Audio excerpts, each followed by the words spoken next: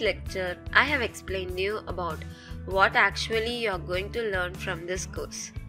In this lecture, I will give you a brief description about what you are going to learn in each section. Here is a complete overview of the course. In the section 1, I have explained you the basics and blueprint in creating good content for copywriting. In this section, I have covered the basics of copywriting. I have also explained you about what are the benefits in copywriting and importance in doing copywriting. Also, I have covered my 4-step blueprint in a step-by-step manner. My section 2 is about copywriting and social media. This section is a very important one.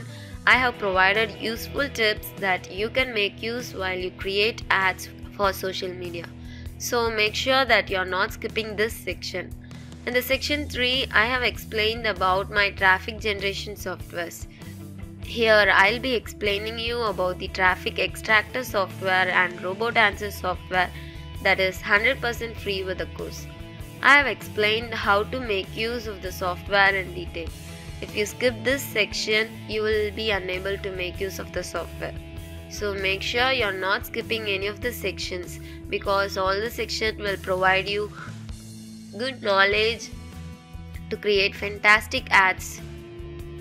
I hope you're very clear with the overview of the course. You can use the discussion board if you have any doubts in any of the sections. I'll be replying you within 24 to 48 hours. Let me move to the first session now.